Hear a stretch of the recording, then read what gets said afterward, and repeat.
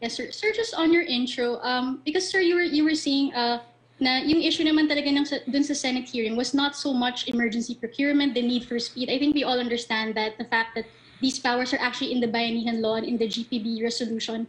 Um, I think the question more of the senators was due diligence, was their due, due diligence um, in on the part of the DBM when it awarded a contract to a six-month-old company with a 600,000 T capital um, you know, investment. And then uh, the fact that yung nga, may links pala siya to Michael Yang, who's an ex-advisor of the president. So my question is, the president at least no seems to know about Michael Yang's ties to Farmally. So did the government award these pandemic contracts to Farmally, knowing they were linked to Yang? Was the Yang connection what led to these contracts in the first place? No, kasi alam ko yung proseso ng ah, DBM miski they are availing of Bayanihan 1.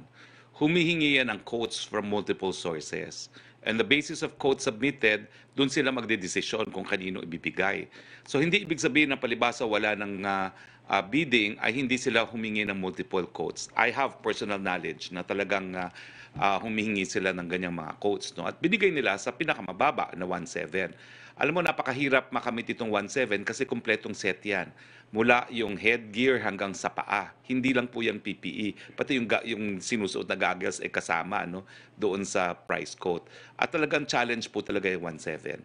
In my private capacity, I, you can look at the jurisprudence on uh, government bidding. Halos lahat po yan. Ako nag-argue. So kilala ko yung mga nag-aangkat at nagbebenta sa gobyerno. Hindi po talaga nila mapatasan yung 1.7 na full set ng PPE. Kaya nga po, pinalabas namin ang dokumento, hindi po yan sabi-sabi lamang, na yung uh, Aquino administration bought the exact same set of um, PPEs prior to the pandemic at 3,800 to 3,500. Can you just explain how, uh, what exactly is Michael Yang's role in all this? Because yesterday the president described him as pagador, which uh, I, I researched it from some uh, and they said that pagador means paymaster, someone who distributes salaries and payments. So uh, that's how he described Michael Yang. So it, it seems, it, from a normal viewer, diba, parang money is involved in his role, and then he got these pandemic contracts. How can you assure Filipinos that yun nga, walang influence si Michael Yang on these contracts, these billions worth of contracts. Well, ultimately, it's the price and the specification that matters. Sa presyo po ang labanan, kahit sino ka man.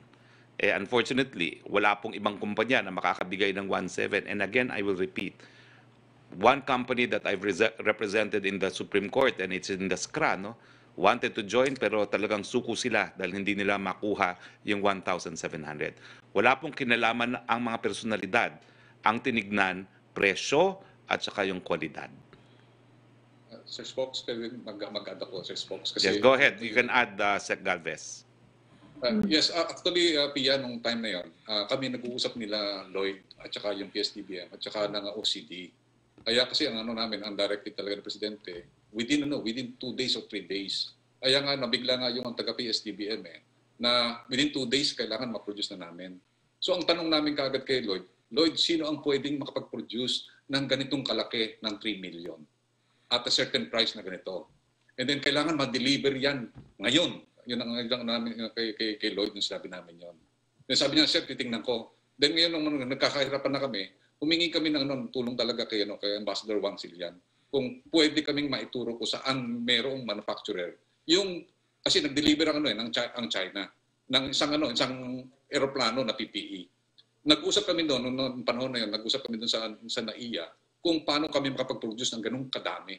So kaya na ano na-involve ang ano yung armed forces kasi dalawang C-130 ang pinadala namin kaagad doon. At saka yung Navy na nandun sa exercise, pinadala namin doon sa ano sa sa China para makuha yung 600,000 kasi yung ano yung C-130 they can only carry more or less mga 16 to 20 ano eh, thousand lang eh. So meaning ang kailangan namin kasi noong that time is more or less at least 600 to 1 million kasi at a time. So yung ano na yun, yung ano yung involvement ng ano tinatawag natin na si Michael I believe talagang ano yun. ah, ang ano namin, ang involvement lang namin doon is basically kami nila no ni ni Yusek Lloyd at saka nung uh, nung tinatawag nating ah, TG ah, ah, Task Group ah, Resource Management Cluster. Kami yung nagdi-dictate ng ano noon ng ah, ng ano ng kung paano ipo-procure at makukuha yung ano yung mga mga PPE natin nung that time. So ako magkasa ano, ang aming ano, ang aming objective is to save lives. Not to make money. Very ano yan, very callous yung ano, yung ano na ganyan. Ang ano namin is to save uh, our uh, our no, our healthcare workers. 37 na ang namatay na doktor that time at saka nurses. Meron pang tampu, sampu na, na naka-intubate. And the hospitals are, are are pleading to us. That's why we need that ano that volume, that volume immediately. Ang question diyan is uh, can they deliver on time with a decent price at saka specific na ganitong kalaking volume?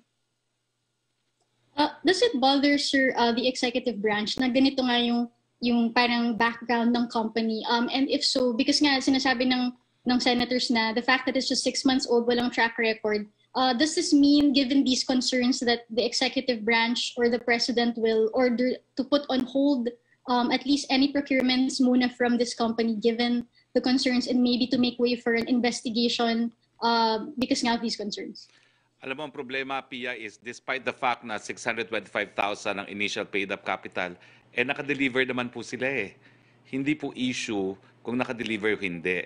Siguro po, kung hindi nakadeliver, pwede magreklamo. Ba't nyo kasi inaward sa kumpanya na walang resources? No? Pero given na lahat ng PPE na kinakailangan natin to save lives actually arrive at nagamit, I don't think that's an issue.